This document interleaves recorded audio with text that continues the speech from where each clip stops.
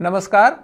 इस वीडियो में हम जानेंगे मतदान दिवस में हमें क्या क्या आवश्यक तैयारियाँ करनी होती है कौन कौन सी घोषणाएँ करनी होती है कौन कौन से प्रपत्र भरे जाने होते हैं, उसका एक संक्षिप्त ब्यौरा इस वीडियो में आपको मिलेगा। मतदान केंद्र पर आप मतदान दिवस के एक दिन पूर्व पहुँचेंगे। पहुँचने के पश्चात वहाँ पर स्थान का अच्छी तरह से अवलोकन कर लें। 100 मीटर की दूरी जो मतदान केंद्र से निर्धारित की जाएगी जहाँ पर किसी भी तरह का प्रचार प्रसार प्रतिबंधित होगा, उसका चिन्हांकन कर लें। 200 मीटर की दूरी, उसका भी चिन्हांकन कर लें, जिसके बाहर ही जो अभ्यर्थी हैं, वो अपना बूथ लगा सकते हैं। इसके अलावा आप मतदान केंद्र के भीतर का निरीक्षण करें, कहाँ पर आपको बूथ बनाना है। बूथ ऐसी जगह बनाएँ, जहाँ कोई खुला क्षेत्र ना हो, ताकि मतदान की गोपनीयता पूरी तरीके से बनी रहे। मतदान प्रकोष्ठ में पर्याप्त प्रकाश व्यवस्था होनी चाहिए, ताकि मतदाताओं को मतदान करने में किसी तरह से कोई असुविधा का सामना ना करना पड़े। यह ध्यान रखेंगे कि वीवीपैट पर किसी भी तरीके का कोई तीव्र प्रकाश वाला बल्ब सीधे रूप से न प्रकाशित होता हो। मतदान दिवस को आप सर्वप्रथम मतदान केंद्र के बाहर सूचना फलक पर प्रारूप सात क निर्वाचन लड़ने वाले अभ्यर्थियों की सूची चस्पा करेंगे। उस मतदान केंद्र में आने वाले निर्वाचन क्षेत्र का चिन्हांकन करने वाला सूची प्रकाशित करेंगे। जो मतदाता इस मतदान केंद्र में मतदान करेंगे, उनकी सूची आप उस सूचना फलक पर चस्पा करेंगे। सारी तैयारियाँ पूरी करने के पश्चात मतदान प्रारंभ होने हेतु निर्धारित समय के 90 मिनट पूर्व आपको मॉक पोल प्रारंभ करना है। मॉक पोल प्रारंभ करने के लिए यदि 90 मिनट के समय में कोई भी अभ्यर्थी या अभिकर्ता नहीं आया है तो आप अधिकतम 15 मिनट इंतज़ार करेंगे। 15 मिनट के बाद यदि कोई अभिकर्ता या अभ्यर्थी नहीं आता है तो आप मॉक पोल की प्रक्रिया प्रारंभ कर सकते हैं। मॉक पोल में आपको सभी अभ्यर्थियों के लिए कम से कम एक वोट और कम से कम 50 वोट डाल करके मॉक पोल करना है। मॉक पोल करने के पश्चात सीयू से प्राप्त डेटा का, सीयू से प्राप्त रिज़ल्ट का आप वीवीपैट पेपर स्लिप से मिलान करेंगे। वीवीपैट पेपर स्लिप से मिलान करने के पश्चात पीठासीन अधिकारी की रिपोर्ट का भाग एक, मॉक पोल का सर्टिफिकेट आप भरेंगे। उसमें सभी उपस्थित अभिकर्ताओं के हस्ताक्षर करेंगे। आप और आपके मतदान अधिकारी भी उसमें हस्ताक्षर करेंगे। इसके पश्चात आप कंट्रोल यूनिट से सारा मॉक पोल का डेटा क्लियर कर देंगे। इस काम को करने के लिए आपको सीआरसी की प्रक्रिया अपनानी होगी। अर्थात मतदान कराने के पश्चात क्लोज बटन दबाएँगे, सारी डिस्प्ले को गोज ऑफ़ होने देंगे। उसके बाद रिज़ल्ट बटन दबाएँगे, सारे रिज़ल्ट के डिस्प्ले होने के पश्चात जब मशीन का डिस्प्ले सेक्शन बंद हो जाए, उसके पश्चात आप क्लियर बटन दबा करके सारा जो मॉक पोल डेटा है उसको क्लियर करेंगे। क्लियर करने के साथ साथ ही आपको वीवीपैट में जो मॉकपोल की पर्चियाँ निकली हैं, जिसमें वीवीपैट की सेल्फ टेस्ट स्लिप भी होंगी, उन सब के पीछे मॉकपोल स्लिप्स की एक स्टैंप लगा करके आप उसके लिए दिए गए काले लिफाफे में रख करके उसको सील करेंगे और उसके ऊपर पिंक पेपर सील लगा करके उसको सील करेंगे।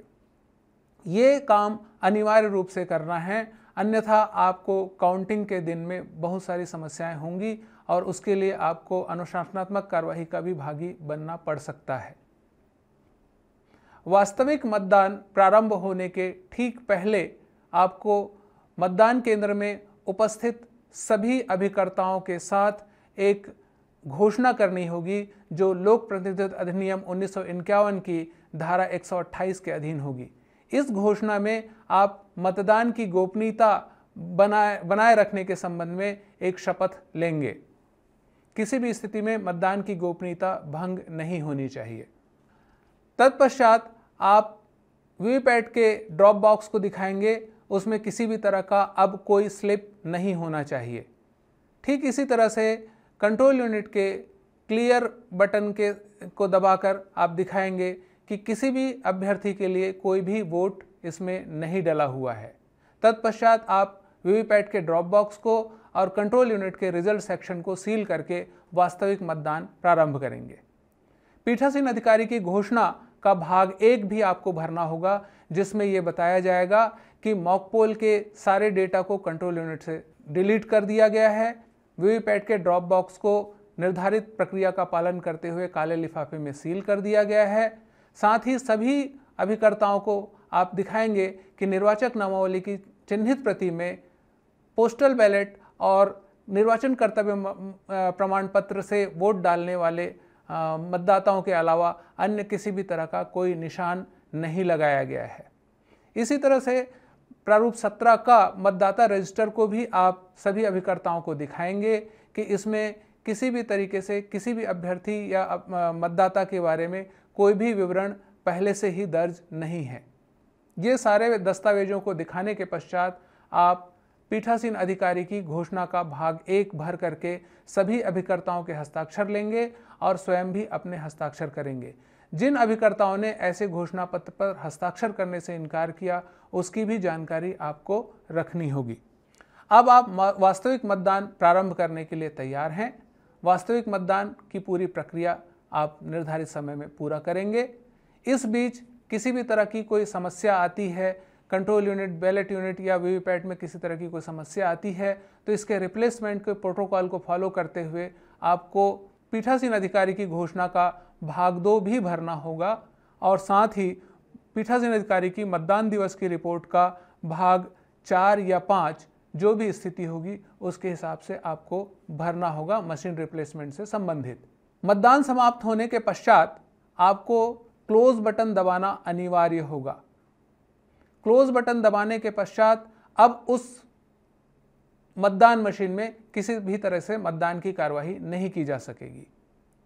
जब आपके मतदान केंद्र का आखिरी मतदाता मतदान कर ले या कोई भी मतदाता नहीं है और मतदान के लिए, समाप्ति के लिए निर्धारित समय संपन्न हो चुका है, तब आप क्लोज बटन दबाएँगे।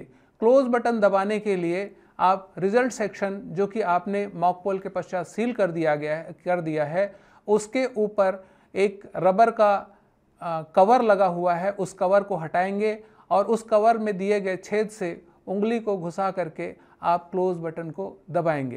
क्लोज बटन दबाना भी उतना ही आवश्यक है जितना कि मशीनों की सीलिंग करना और अन्य प्रक्रिया। इसको किसी भी स्थिति में नहीं भूलेंगे। क्लोज बटन दबाने के संबंध में पीठासीन अधिकारी की रिपोर्ट का भाग तीन भी अनिवार्य रूप से भरेंगे और पीठासीन अधिकारी की घोषणा का भाग तीन भी आप भरेंगे। ये सारी घोषणाएँ, सारे प्रपत्र आपको प्रदान किए जाएँगे और साथ ही साथ पीठासीन अधिकारी की हैंडबुक में भी ये आपको मिल जाएगा। क्लोज बटन दबाने के पश्चात आप रिकॉर्ड किए गए मतों का लेखा प्रारूप सत्रह ग का भाग एक भरेंगे, जिसमें आप उस मतदान केंद्र में कुल उपयोग किए गए मशीनों और अन्य जानकारियाँ भरेंगे। इसमें सभी उपस्थित मतदान अभिकर्ताओं के हस्ताक्षर कराएँगे, आप खुद भी हस्ताक्षर करेंगे और इसकी एक एक प्रति सभी उपस्थित मतदान अभिकर्ताओं को प्रदान करेंगे।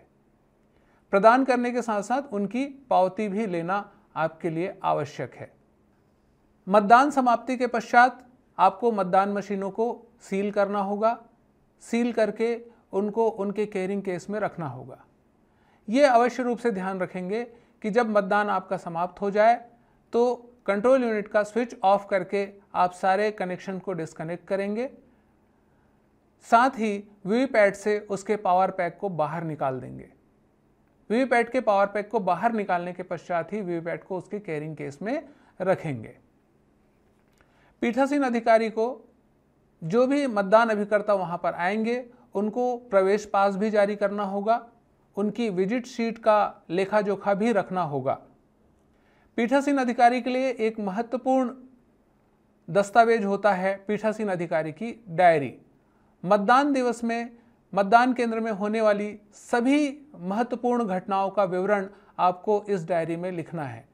सामान्यतः ये देखा जाता है कि पीठासीन अधिकारी की डायरी मतदान समाप्ति के बाद आखिर में भरी जाती है।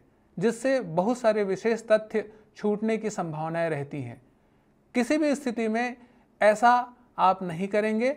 जब जब जो जो घटनाएँ जिस समय पर होती जा रही हैं, तत्काल उसी समय पीठासीन अधिकारी की डायरी में आप उसका विवरण दर्ज करते जाएँगे। उसके संबंध में जो की गई कार्यवाही है, उसका विवरण आपको तत्काल ही दर्ज करते जाना है।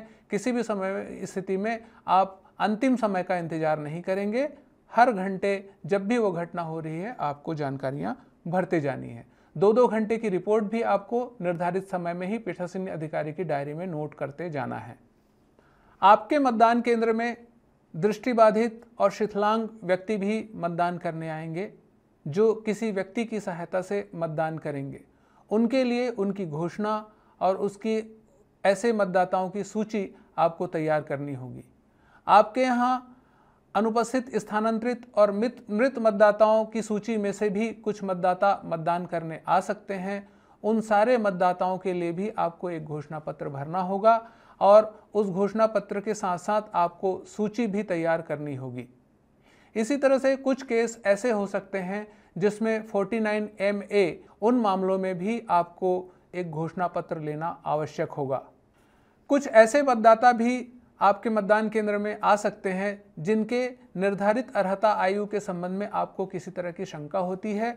उस शंका की स्थिति में आप उनको मतदान से वंचित नहीं करेंगे, लेकिन आप उनसे उनकी आयु के संबंध में एक घोषणा ज़रूर लेंगे। मतदान संपन्न होने के पश्चात आप अपने लिए निर्धारित वाहन से ही सामग्री वापसी केंद्र पर वापस आएँगे। अन्य किसी भी साधन का उपयोग आप किसी भी स्थिति में नहीं करेंगे। और किसी भी स्थिति में आपके सील बंद ईवीएम्स और वीवीपैट्स को किसी अन्य की कस्टडी में नहीं देंगे। आप अपनी ही अभिरक्षा में वापसी केंद्र तक ला करके वापसी काउंटर में इसको स्वयं जमा करेंगे। मतदान सामग्रियों को वापसी केंद्र में जमा करने के लिए आपको कुल छः पैकेट बनाने होंगे। इसका पूरा विवरण पीठासीन अधिकारी की पुस्तिका में मिल जाएगा। संक्षिप्त रूप में पीठासीन अधिकारी की पुस्तिका के अनुलग्नक 22 में इसकी जानकारी आपको मिल जाएगी। कुल आपको छः पैकेट बनाने हैं, जिसमें प्रथम पैकेट ईवीएम कागजात से संबंधित होगा। ईवीएम से रिलेटेड जो भी दस्तावेज़ आप तैयार करेंगे, वो पहले पैकेट में होगा। दूसरे पैकेट में स्क्रूटनी से संबंधित दस्तावेज़ रहेंगे। तीसरा पैकेट सांवैधिक प्रपत्रों का पैकेट होगा और चौथा पैकेट असावैधिक प्रपत्रों का पैकेट होगा।